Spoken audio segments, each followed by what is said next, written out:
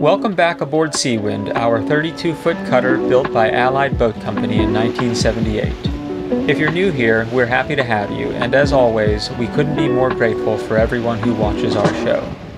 Please subscribe if you haven't already, as it helps others discover our channel. And don't forget to turn on the notifications so you don't miss anything we post. So now, last week we left our anchorage in Fort Lauderdale, exited Port Everglades, and began our sail away from the United States. Goodbye, Fort Lauderdale! And out into the Atlantic Ocean. The sun is setting, and we are sailing in a beautiful 10 to 15 knot breeze, quickly approaching the western limits of the Gulf Stream, which will help push our boat northeast. We're doing it, people! Our destination of Port Lucaya lies roughly 90 miles away, and is where we will be checking into the Bahamas country for our second time. Last season, we left Key Biscayne, making our way to the island of Bimini. This time, Katy and I decided to travel a different path altogether, with new places to see and experience. So without further ado, welcome to episode 63 of Sailing Seawind.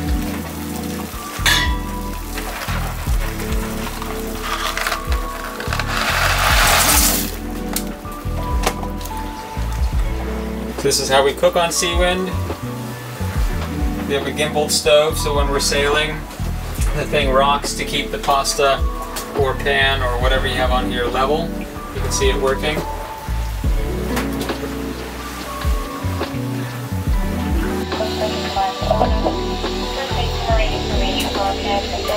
Red interior.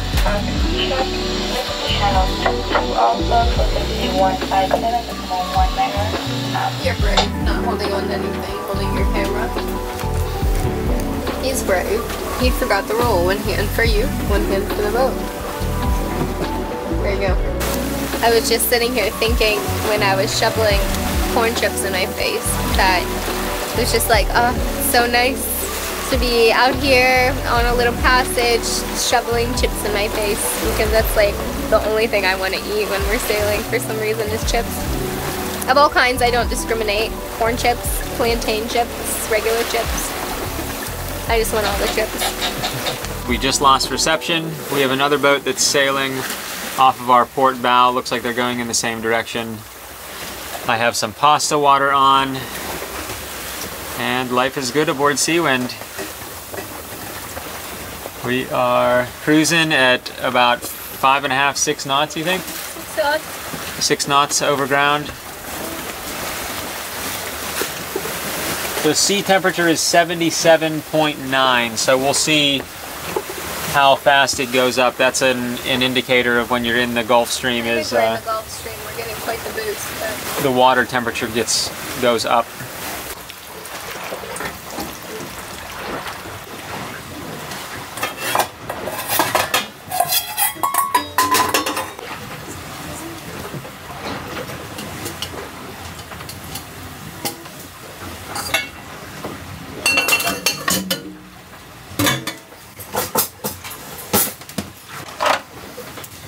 Can't do it without the nutritional yeast.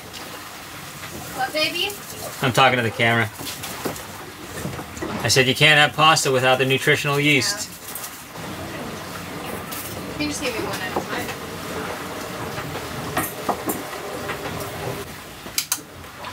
Cheers. Cheers, my love. It is much darker than this out here, but the camera can like see in the dark kind of.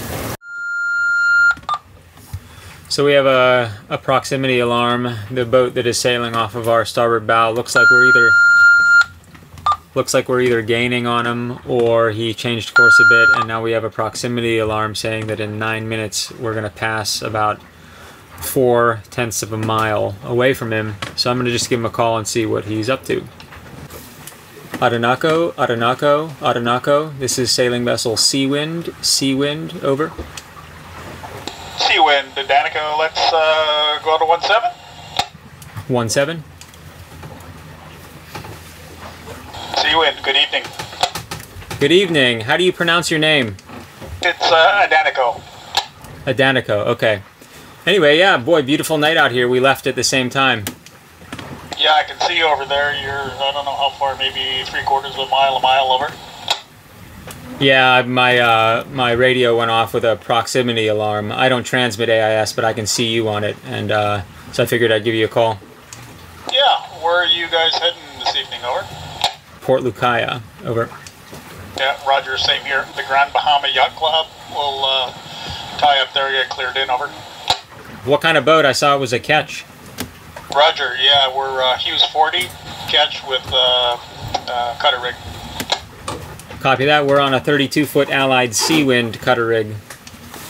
Very nice. Yeah, I've uh, a friend of mine had an Allied Princess 36. Beautiful boats. Yeah, I looked at the Princesses before I found my Seawind up on the Great Lakes in Cleveland. Yeah, Roger. That's where we're from. The summer before we came down from uh, Georgian Bay. Over. Oh, we've always wanted to go up to the Georgian Bay. Never made it off Lake Erie though. It's good to see a northerner out here uh, enjoying the warm weather. Uh, the first phone or the first VA, the first phone call.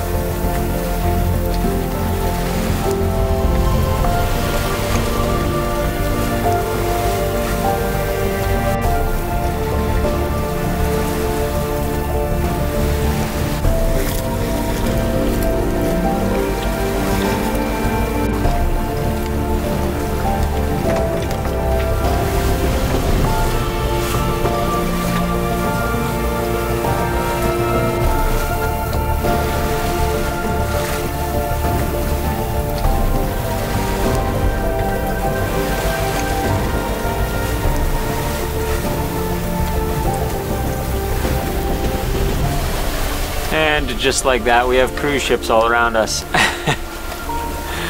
That's a big cruise ship. Norwegian Pearl. I've been on the radio with him. Katy just came up. There she is. It's midnight. Yep. How you feeling, Beebs? Pretty good. Yep. You can see where we are. We are, I think, on the other side of the Gulf Stream. Maybe. Did you get some sleep? Yeah. All right, I'm gonna go get some sleep. Well, actually, I might stay up until this damn cruise ship is clear of us. How can you see that we're passing this by? Yeah. It's a big one. Yeah.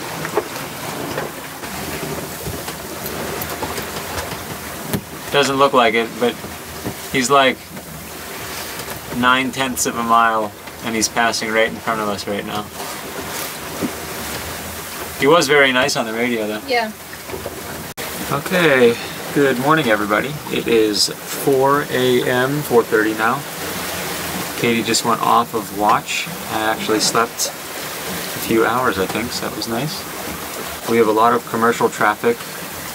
That guy right there um, is adrift. It's a huge barge, and uh, they're having engine issues, and they're drifting. Actually, they were drifting at 0.8 knots, so not even not quite a knot, towards us, and we had to kind of change uh, course to make sure that we didn't come too close to them.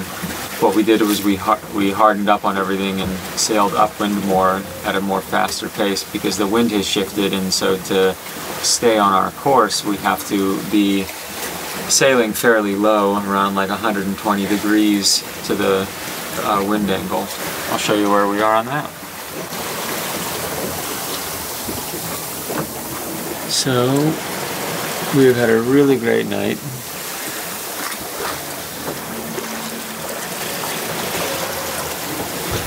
We have 17 miles to go, 18 miles to go. Doing about four and a half knots, and we are broad reaching now. This is our speed through the water. We're doing, this is about nine knots apparent. True wind speed is about 11. And that's what we're doing. So, I'm going to uh, sit and wait for the sun to start coming up because we're facing east, well, a little northeast. So, alrighty everyone. We've had a wonderful night. We have sailed the entire way, no motor. And Sea Wind has finally dusted off the cobwebs and so have we.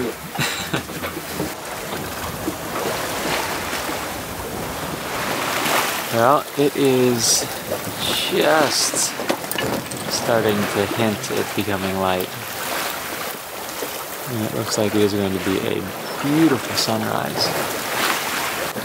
There have been a few barges drifting.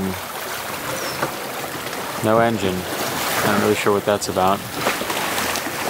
I've been on the radio a lot tonight, calling different ships, making sure they see us. I'm glad to see that our radar reflectors do their job. Every one of them said that they had me as a target on their uh, radar, that's good.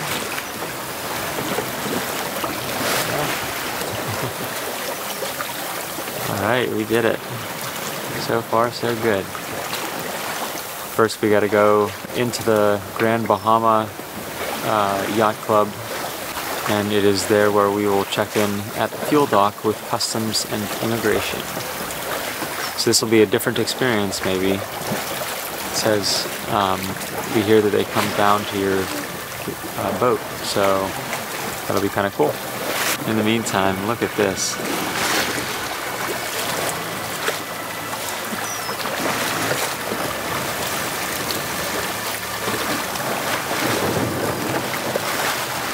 Just wow. That is just beautiful.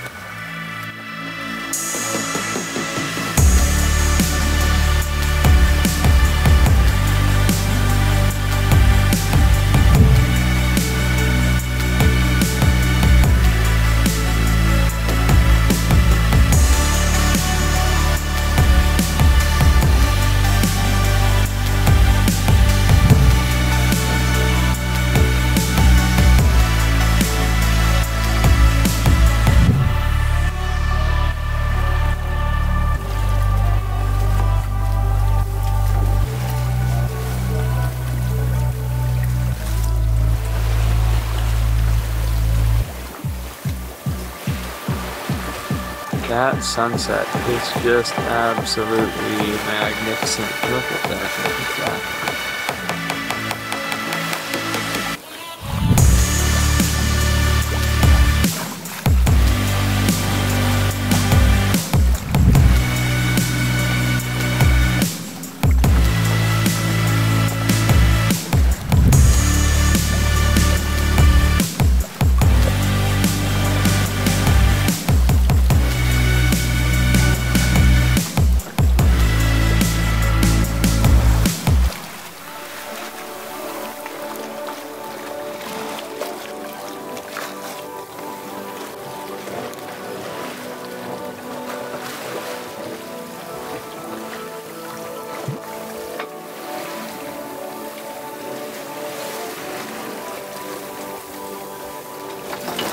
Someone's awake. How are you, little Bob? I'm pretty good. Pretty good? Did you get some shut eye? A little bit. What are you doing there? Checking to see if my SIM card will work.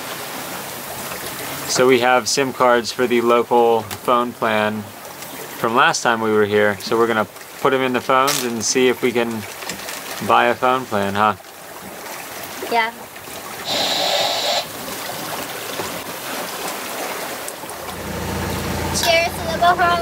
Cheers! This is freshly made iced espresso with a Oh, scoop yeah. of oat milk with our brand new manual hand pump espresso maker. and uh, we had we're almost what we're eight miles from the inlet We have some friends we made. We saw them leaving Port Everglades the same time as us. We kind of checked in with each other throughout the night and they're right in front of us right now and they are having some engine troubles. So we turned on our engine because the wind is dying off. Um, we turned on our engine to get up closer to them to make sure that they can get um, into the inlet and to the dock safely. So. Cool. We're in the Bahamas. In the Bahamas. Yeah. Okay. Ready? Yeah. This is a flag. I mean, this is a Q, the Q flag. And we have to fly this as we enter any new country before we're checked in. It's called the quarantine flag, Q flag. Um, and so since we're now like on the coast of the Bahamas and we're about to come into port, we're gonna put the Q flag up. Here you go. There you go. Nice. Okay, that's the top. Yeah. Okay. Now tie it off in the cleat.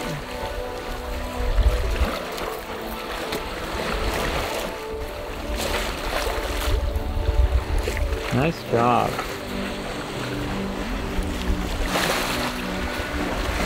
Okay. Good job.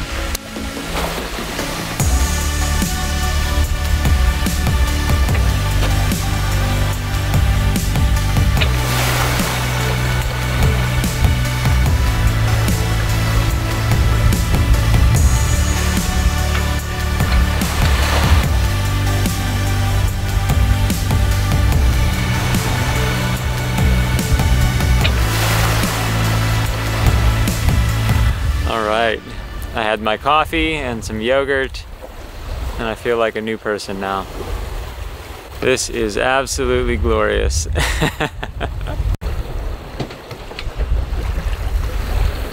You can start to see the bottom.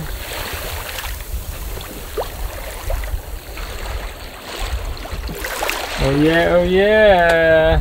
Oh yeah, oh yeah. We're sailing under main only.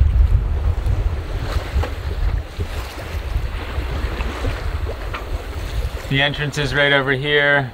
We're behind them. We got the main way out. Threatening to jibe, but I'm watching it closely. Okay, we'll see you at the dock.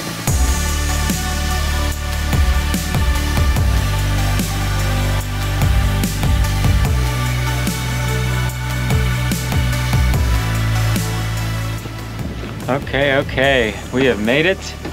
We are at the Grand Bahama Yacht Club fuel dock. This is the dock that they require you to pull up to to clear in with customs and immigration. He wants us to go now. Okay. Nice. Right. Okay, We gotta let's go go. to our dock, 513. Okay, let's go. Trying to even think back, my brain is like mashed potatoes. Um, what do we do? Parker mixed a loaf of bread using our sourdough starter, so he felt that was a More on that later. though. priority. so we mixed a loaf of bread and I finished up some work.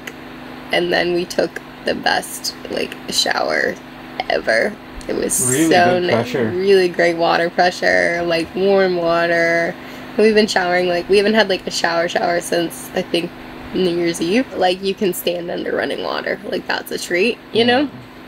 Stand under hot running water. Like that's a treat. It's not like all the time. So it's been the first one in a few weeks, so that felt really good.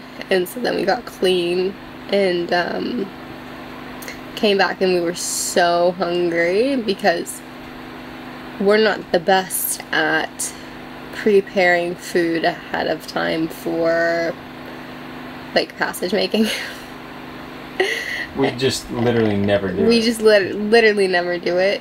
But so by being bad at it we just don't do it. So we that's a priority for us this season is to make sure that like when we're preparing ourselves and preparing the boat and all of that for like a passage and stuff it's just make sure we actually have like nutrient dense snacks and easy to grab food and meals and stuff. Anyway so parker made a really great lunch. He powered through cooking Then we ate, and then I sent him to the V to go lay down, and I cleaned up, and then I went up there, and everything became a blur. We just literally passed out, so tired, and we woke up at like six, like three hours later, and the sun had just set, and we were just like. Parker even we slept so hard Parker was like, Are we still in the Bahamas? That was funny. But that we're still just like we could just keep sleeping and sleeping and sleeping. That was the first big I mean that was the big, first sail we've done on Seawind this season and it was like a really big one to start out with, you know, about 90 miles.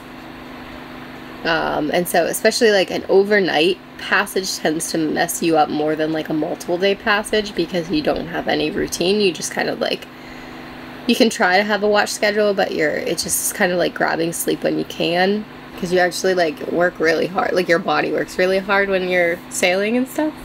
You're like staying up. So more sleep. More sleep, but first just a kombucha, regular kombucha to celebrate. Parker has a loaf of bread in the oven, so.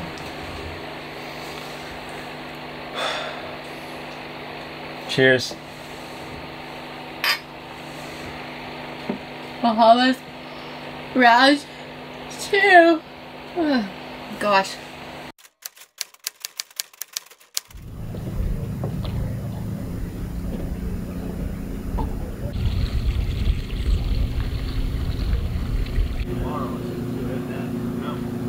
We're walking about a mile and a half into town in search of SIM cards. The SIM cards that we had yesterday did not work. They expire after six months of non-use apparently. So we're on a mission. This place is a much, much different feel than Bimini, wouldn't you say? Yeah. Resort style, lots of land.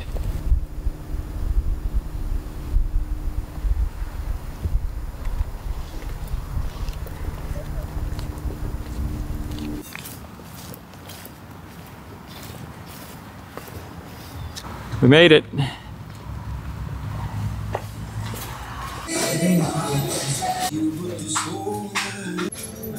Thank you very much.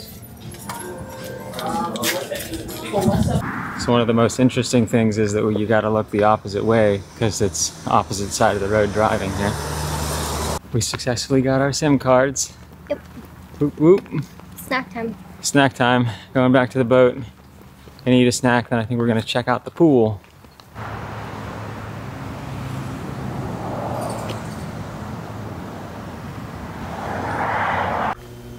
There's my two girls.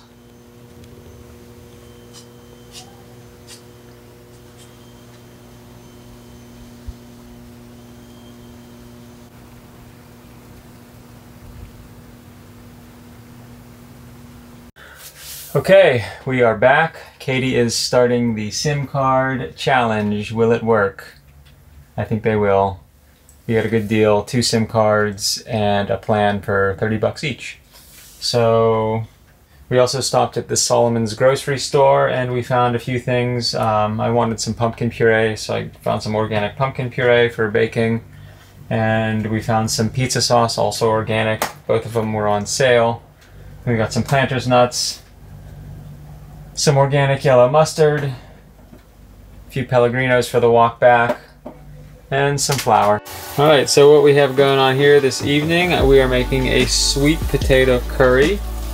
Um, right now, I have onions and garlic that I sauteed until translucent, and now I just added a bunch of fresh chopped tomatoes that I'm gonna cook down and let them get all nice and cooked. And then I'm going to add some coconut milk and some potatoes. I'm gonna make some rice, and we're gonna have a delicious, delicious, delicious meal.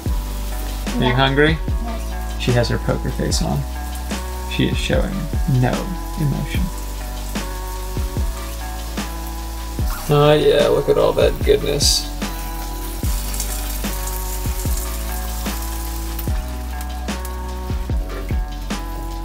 Two tablespoons of curry powder. This is a spicy curry powder. And some black pepper. A little bit of fresh basil. I love rice. Okay.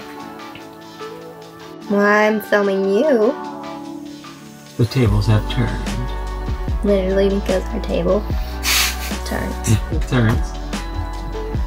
Now tell us, Parker, what do we have for dinner? What did you cook for us? Well, you guys just saw me cook a sweet potato curry. Um, we didn't look up a recipe or anything. This is just kind of how we make our It's a curry. yellow curry. It's a ye- yeah, it's a yellow curry. We found a really nice looking spicy yellow curry powder, and so that's what I made. And you guys know the ingredients because you just watched me. we had a really nice day. This is our kind of a our day number one, First full day. first full day in the Bahamas. We have swam. Katy used her monofin. That was funny.